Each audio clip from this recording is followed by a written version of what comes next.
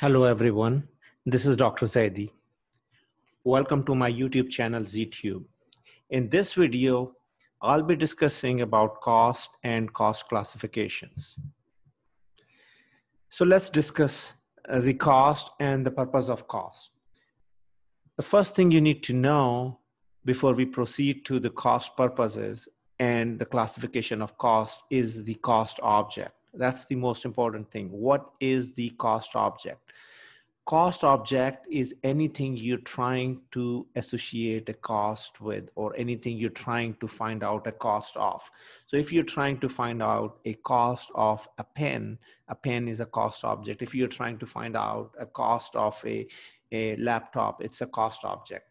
If you're trying to find out a cost of uh, um, the manufacturing plant, then the plant is a cost object. If you're trying to find out a cost of a supervisor, cost to hire a supervisor, then supervisor itself is a cost object. If you're trying to find out a cost of a department, then the department is the cost object. If you're trying to find out a cost of a particular product, the product is a cost object.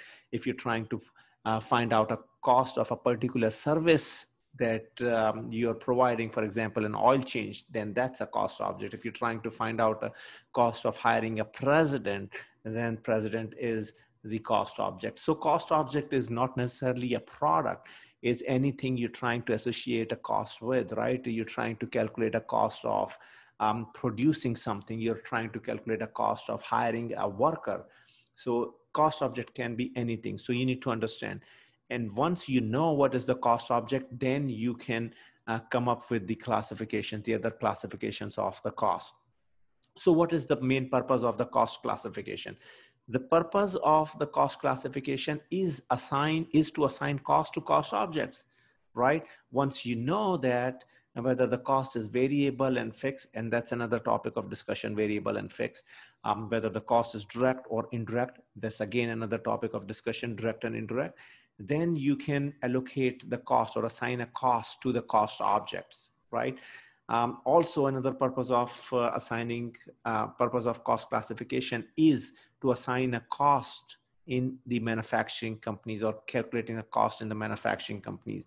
You can also use um, cost classification to prepare financial statements or budgeted financial statements, budgeted income statement, budgeted balance sheet, budgeted cash flow statement um, cost classification is also used to predict cost behavior in response to changes in the level of activity. So if um, you drive more miles, how the cost is going to behave. The more miles you drive, the more gas you're going to consume. The more gas you're going to consume, um, the more uh, dollar amount you have to spend to buy the gasoline, right? So that's the predicting the cost behavior, how the cost behave in response to the changes of activity level the more units you produce, the higher is going to be your cost, right?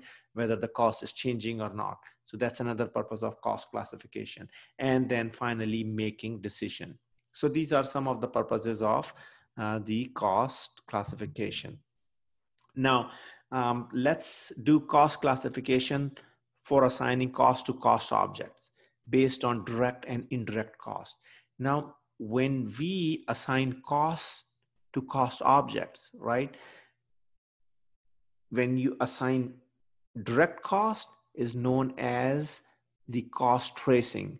When you assign indirect cost, it's known as the cost allocation. Indirect costs are allocated, direct costs are traced, right?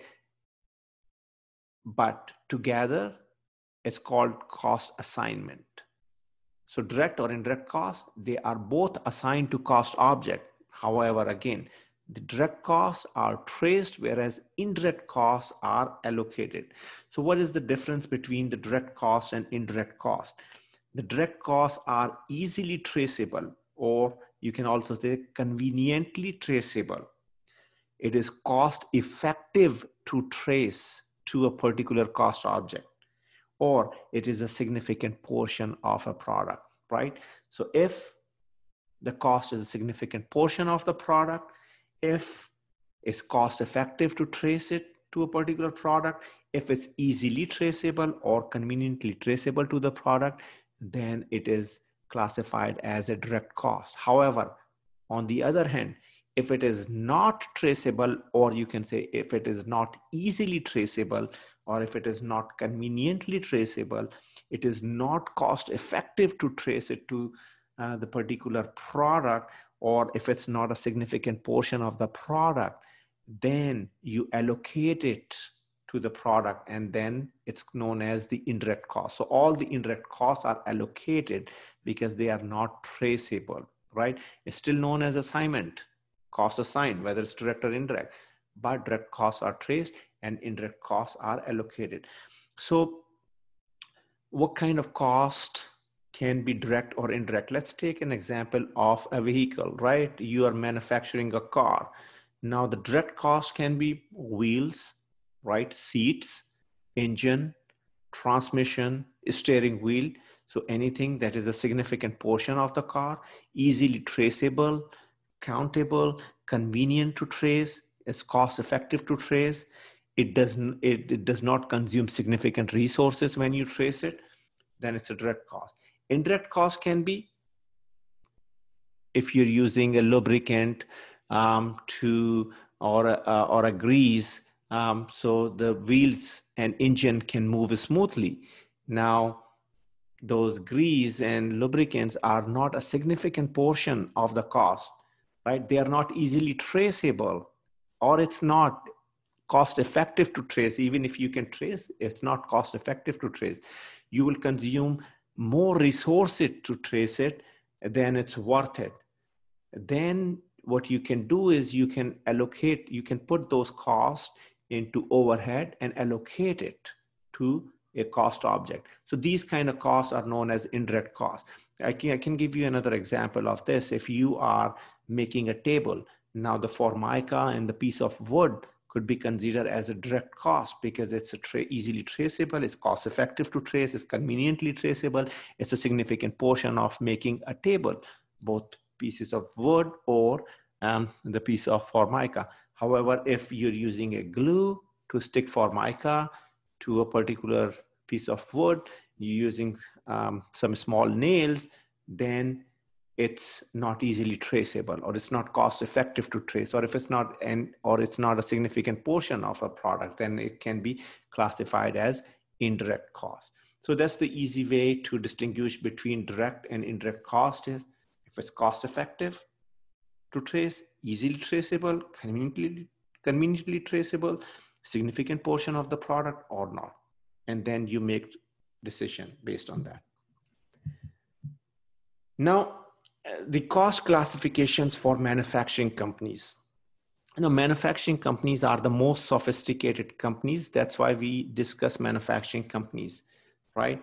in other companies like merchandising companies we don't have material we don't have raw material and direct labor and uh, manufacturing overhead um, we have a merchandising um, uh, we have merchandise or in the service industry again we don't have a product we have a service that we provide whereas in the manufacturing companies you have a work in process inventories, you have a raw material inventory, you have a finished goods inventory, you have a several kind of inventories and different kind of overheads and um, labor and materials. So that makes uh, manufacturing companies more complicated. Now, in a manufacturing companies, when you manufacture a product, right, that and the cost you incur to make that product is known as manufacturing cost you can also call it as a product cost.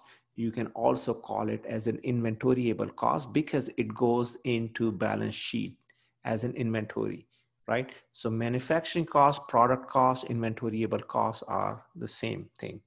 Now, manufacturing costs consist of direct material, direct labor, and manufacturing overhead. So in the previous slide, we discussed the direct and indirect costs direct cost was easily traceable, indirect cost was not easily traceable. So if you look at the slide, the direct material and direct labor are the direct manufacturing costs. Those are direct costs, whereas manufacturing overhead uh, is, is indirect manufacturing cost. So that means man, in manufacturing overhead cost, we assign, we allocate cost in manufacturing overhead, whereas direct material and direct labor is easily traced conveniently traced to a particular product. Now, so direct material in the example of car, I gave you the example that um, uh, the wheel, steering wheel, engine, transmission, those are the direct material. Now, direct labor is someone who is directly working on making the product. So if labor is working on manufacturing engine, that's a direct labor. If uh, someone is installing seats, then that's a direct labor. Um, if someone is assembling um, the vehicle, then that's a direct labor. However, if a supervisor is monitoring the labor, that's not considered as a direct labor because the supervisor is monitoring, is not directly working on a specific product so the supervisor is considered as an indirect labor and indirect labor goes into manufacturing overhead, just like the indirect material. So if it's a glue, if it's a nails, um, if it's a lubricant, if it's a grease, those items, th those are that are not significant portion of the product, not cost effective to trace, not easily traceable. Um, right, or conveniently traceable, then it goes into manufacturing overhead. So those are indirect material. And manufacturing overhead, again, is also known as factory overhead. FOH or MOH is same thing. Okay, they are not two different things. You can call it MOH, manufacturing overhead, or FOH, factory overhead. So indirect material and indirect labor goes to manufacturing overhead. Then you have other factory overhead. So anything else like utilities, you know, telephone bill, um, electricity bill, um, any other water bill, any other utility that you use in the factory is it goes into the other factory overhead. Property tax goes into the factory overhead. The depreciation on the factory goes into the other factory overhead. So if you see the direct material is all variable, the more material you use, the more cost you're going to incur, right? Direct labor is variable. The more labor you're going to use, the more cost you're going to incur. Whereas manufacturing overhead has both variable and fixed account, right? So indirect material is variable, more indirect material you use, more cost you're going to incur.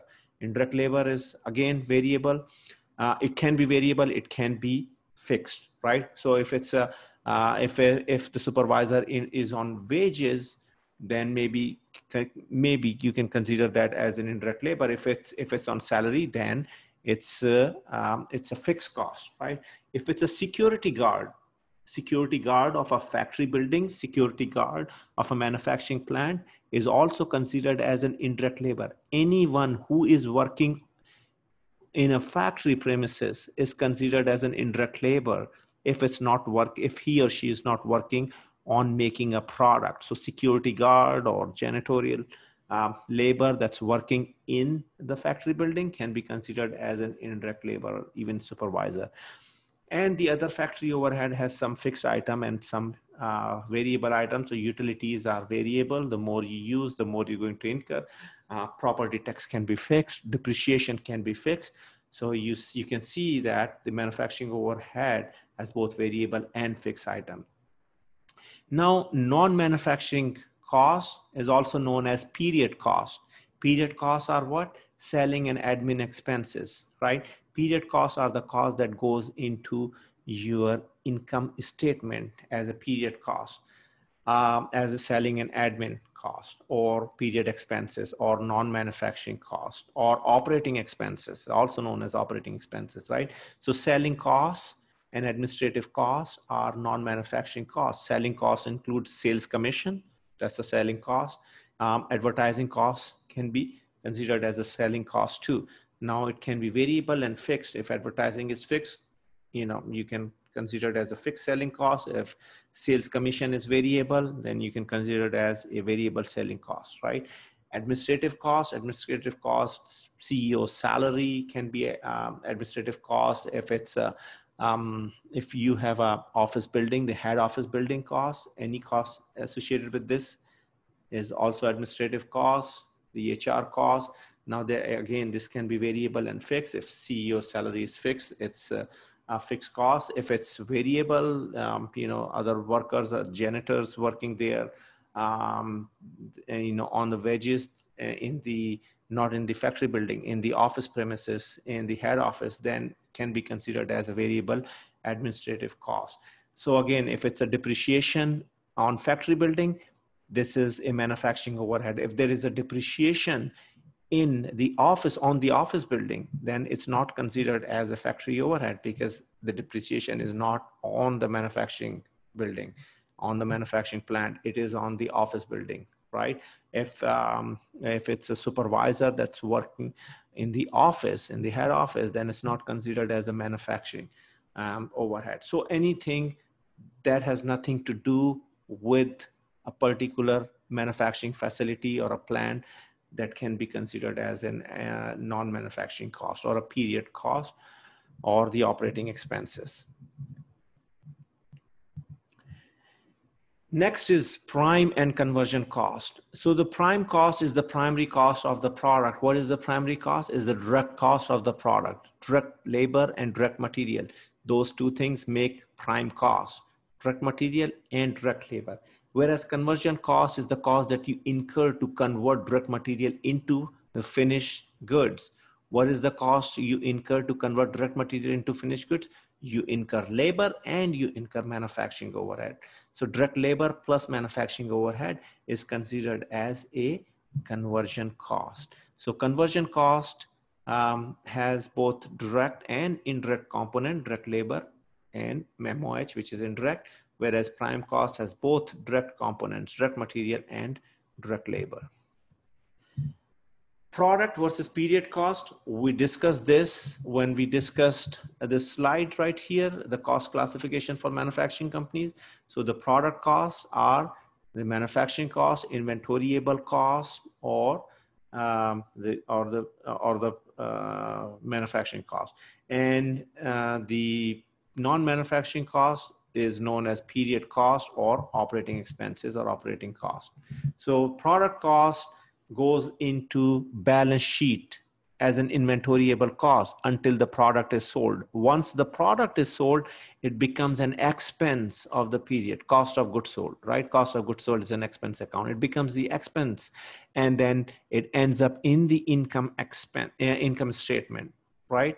So product cost is an inventoriable cost. First, it goes into your balance sheet, and once the product is sold, you uh, move it to uh, move it into the income statement. Whereas the period costs, period costs are expensed directly in the income statement. Selling and administrative expenses are the example of the period cost. All the operating expenses, they are expensed in the uh, income statement.